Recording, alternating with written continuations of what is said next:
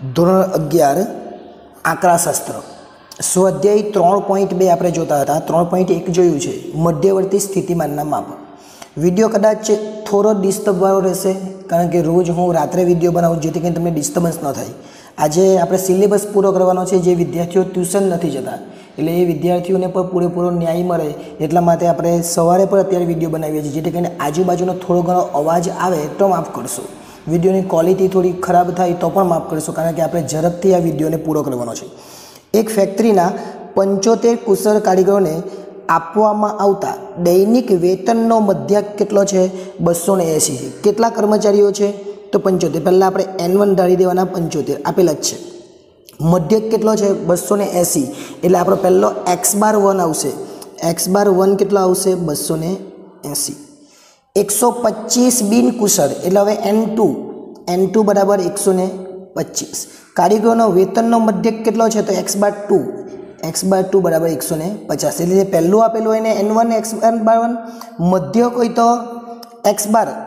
અહીંયા પણ મધ્યક છે, એટલે એક્સ બાર. પણ પહેલાંનું છે એટલે એક્સ બાર વન અને બીજાનું છે એટલે એક્સ બાર ટુ હવે ખૂબ જ સરળ રીતે વેતનનો મધ્યક ખોદવાનો છે બધા જ કારીગરો બધા જ કારીગરોને એટલે મિશ્ર મધ્યક કહેવાય. એટલે આપણે સૂત્ર શું મૂકીશું? એક્સ બાર સીનું તમે સૂત્ર ભણેલા જ છો. આપણે થિયરી નથી ભણ્યા એટલે થોડુંક સૂત્રમાં પ્રોબ્લેમ પડશે.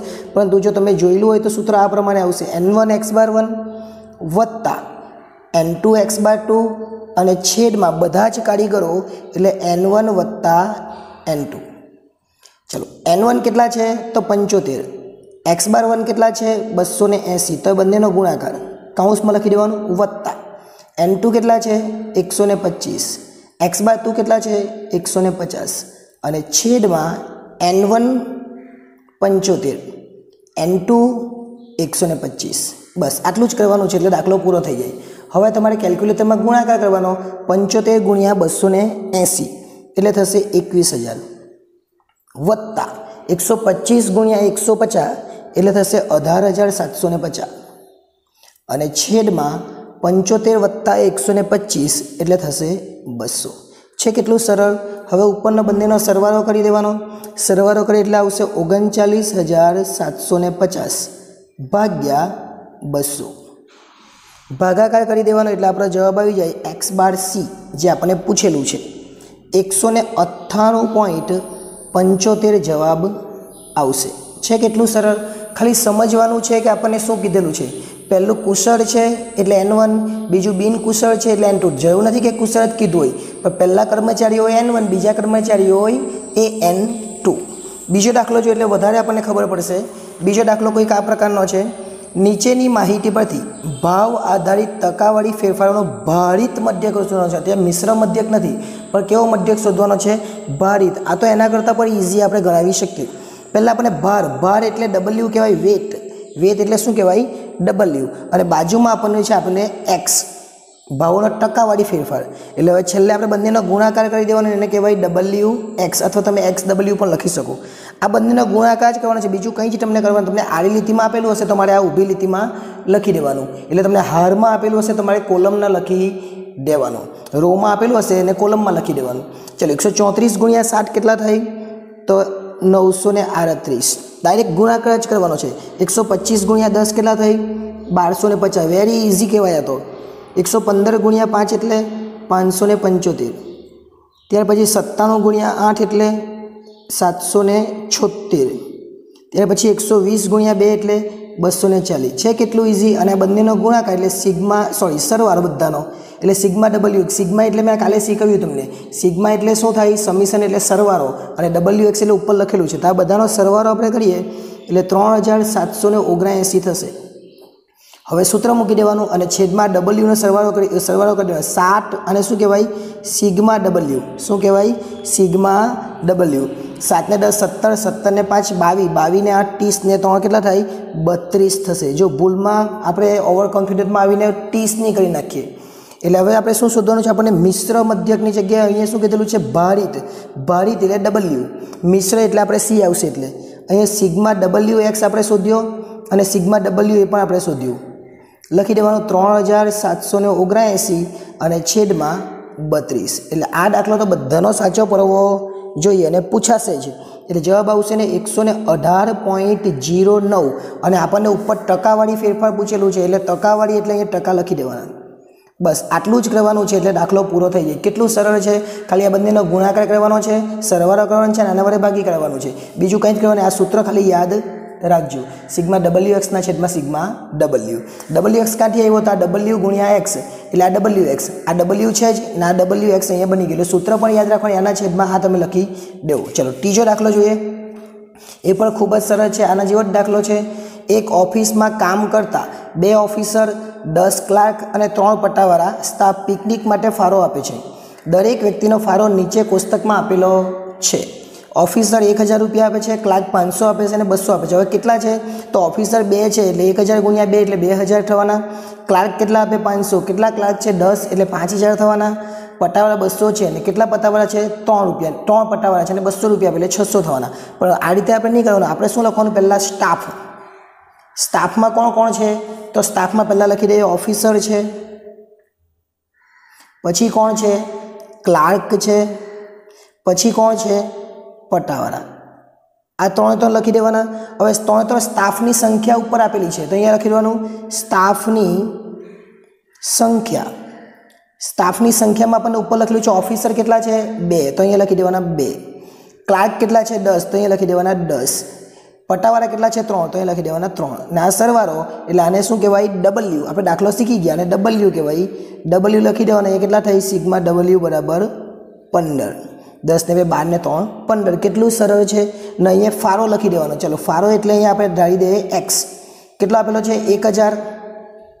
બીજો કેટલો છે? પાંચસો. અને ત્રીજો કેટલો છે? બસો. જે નાની રકમ એને ડબલ્યુ ધારી દેવાનું, બહુ ચિંતા નહીં કરવાની. બરાબર? એક હજાર પાંચસો ને બસો એટલે કેટલા થવાના? તો ટોટલ થાય એક હજાર પાંચસો સોરી આનો ટોટલ નથી કરવાનો. આપણે તો ડબલ્યુ એક્સ કરવાનું ને. દાખલાની અંદર શું કરવાનું છે? આપણે ડબલ્યુ બે હજાર ગુણ્યા બે ગુણ્યા એક હજાર એટલે કેટલા થાય? બે હજાર. એટલે કે બે ઓફિસર છે ને હજાર રૂપિયા આપે, એટલે બે હજાર થવાના. દસ ક્લાર્ક છે ને પાંચ હજાર આપે, એક ક્લાર્ક એટલે કેટલા થવાના? પાંચ હજાર. ત્રણ પટાવાળા છે ને બસો રૂપિયા આપે, એટલે કેટલા થવાના? છસો. બસ આ બધાનો સરવાળો કરવાનો. એને કહેવાય સિગ્મા ડબલ્યુ એક્સ. બે હજાર પાંચસો એટલે સાત હજાર. સાત હજાર છસો થશે. અહીંયા પાંચ હજાર છે, બરાબર ને? એટલે હવે શું કરવાનું? આના છેદમાં આપણે લખીશું. Sigma W. Sigma W x છેદમાં સિગ્મા ડબલ્યુ એટલે સાત હજાર છસો છેદમાં પંદર. સાત હજાર છસો ભાગ્યા પંદર આપણે કરીએ એટલે આપણો છેલ્લો જવાબ આવે એને એક્સ બાર ડબલ્યુ કહેવાય એટલે કે ભારિત મધ્યક પૂછેલો છે. કેટલો થશે? તો સાત હજાર છસો ભાગ્યા પંદર એટલે પાંચસો ને છ પોઈન્ટ સડસઠ આપણો જવાબ આવે. કેટલો? પાંચસો ને છ પોઈન્ટ સડસઠ. આ વ્યક્તિગત ફાળાનો મધ્યક કહેવાય. ખૂબ જ સરળ દાખલો છે. કદાચ ન સમજ પડે તો કમેન્ટ કરજો. અને દાખલાને ફરીથી ગણવાનો પ્રયત્ન કરજો. આજ સીધા જ દાખલા આવશે. રકમમાં પણ કોઈ ચેન્જ આવે નહીં. એક વિદ્યાર્થી સાત પેપરમાં મળતા ગુણનો મધ્યક બાસઠ છે. ત્રણ પ્રેક્ટિકલ પરીક્ષામાં તેના ગુણનો મધ્યક કેટલો હોવો જોઈએ? બહુ અગત્યનો દાખલો. પહેલાં એ સાત પેપર છે, એટલે એન વન બરાબર કેટલા? સાત. મધ્યક એટલે શું? પહેલાંનો મધ્યક એટલે આપણે પહેલો દાખલો કર્યો. પહેલાંનો મધ્યક એટલે એક્સ બાર વન બીજા કેટલા પેપર છે? ત્રણ. એટલે એન ટુ બરાબર કેટલા? ત્રણ. પણ એનો મધ્યક કેટલો હોવો જોઈએ? એટલે એક્સ બાર ટુ એ આપણને આપેલો નથી. દાખલો બહુ અગત્યનો છે, પૂછાશે. જેથી સંપૂર્ણ પરીક્ષામાં તેના ગુણનો મધ્યક અડસેટ થાય. એટલે એક્સ બાર સી આપણને આપી દીધો. જવાબ આપણને આપી દીધો છે કેટલો? સિક્સટી એઇટ ખૂબ જ જરૂરી દાખલો છે. એટલે એક્સ બાર સી બરાબર n one x bar one પહેલાં બેનો સર ગુણાકાર વત્તા n two x by two અને છેદમાં એન વન વત્તા એન ટુ. શોધી આપણે. બહુ સરળ છે દાખલો અહીંયા આ આપેલું છે એટલે અહીંયા આપણે લખી દઈએ અડસઠ. સિક્સટી એઇટ આપેલા છે. એન વન કેટલા છે? સાત. એક્સ બાર વન કેટલા છે? બાસઠ. આ બંનેનો ગુણાકાર. વત્તા. એન ટુ ત્રણ છે અને એક્સ બાર ટુ આપણને આપ્યા નથી. અને છેદમાં લખી દઈશું, એન વન કેટલા છે? સાત અને એન ટુ કેટલા છે? ત્રણ. એટલે સાત વત્તા ત્રણ. અહીંયા અડસઠ લખી દઈશું ફરીથી. બાસઠ ગુણ્યા સાત કરવાના બાસઠ ગુણ્યા સાત કરે એટલે કેટલા થશે બાસઠ ગુણ્યા સાત ચારસો ને ચોત્રીસ થશે કેટલા થશે ચારસો ને ચોત્રીસ વત્તા અહીંયા કેટલા આવશે ત્રણ એક્સ બાર ટુ અહીંયા બેનો ગુણાકાર એટલે ત્રણ એક્સ બાર ટુ આવશે અને છેદમાં આવશે કેટલા દસ હવે દસનો ગુણાકારની સાથે કરીએ એટલે અડસઠ ગુણ્યા દસ બરાબર ચારસો ને ચોત્રીસ વત્તા ત્રણ એક્સ બાર ટુ હવે આ છસો એંસી થવાના. આ ચારસો ચોત્રીસને આ બાજુ લઈ આવી એટલે માઇનસ થવાના. અને આ બાજુ ઉપર વધવાનું ત્રણ એક્સ બાર ટુ. એટલે છસો એંસી માઇનસ ચારસો ને ચોત્રીસ આપણે કરવાના. એટલે જવાબ આવશે બસો ને છેતાલીસ. પરંતુ આ ત્રણ એક્સ બાર ટુનો જવાબ છે. એટલે ત્રણ છે એટલે ત્રણને અહીંયા લઈ આવીએ. એટલે બસો ને છેતાલીસ ભાગ્યા ત્રણ કરી નાખવાના. ગુણાકારમાં છે અને ભાગાકારમાં લઈ આવવાનો એક્સ બાર ટુ. એટલે હવે એક્સ બાર ટુ આપણો કેટલો આવવાનો? એક્સ બાર ટુ બરાબર એટી ટુ. અને ઉપર આપણને પૂછેલું છે ગુણ, એટલે અહીંયા લખી દેવાનું ગુણ. એટલે ખૂબ જ અગત્યનો અને સરળ દાખલો ગણાવી શકાય. હવે કદાચ તમને અહીંયા એટી ટુ આપેલા હોય તો તમારો એક્સ બાર સી કેટલો આવે? અડસઠ આવે. એ દાખલો ચેક કરજો. આ તમને આપી દીધા છે સમજો કે એટી ટુ. હવે તમે આ દાખલો ગણી ને અહીંયા શું મૂકવાનું? Eighty two. અડસઠ આવે કે? એવું કરીને ચેક કરજો અને કોમેન્ટ કરજો આવે કે નહીં. જો ન આવતો હોય તો બતાવજો. એ અડસઠ મૂકી, બ્યાસી મૂકીને અડસઠ લાવવાનો દાખલો પણ આપણે કરીને બતાવીશું. એટલે આ હતું સ્વાધ્યાય ત્રણ પોઈન્ટ બેનું સોલ્યુશન નેક્સ્ટ ટાઈમ જ્યારે મળીશું, ત્યારે સ્વાધ્યાય ત્રણ પોઈન્ટ ત્રણ છે એના વિશે અભ્યાસ કરીશું. આભાર.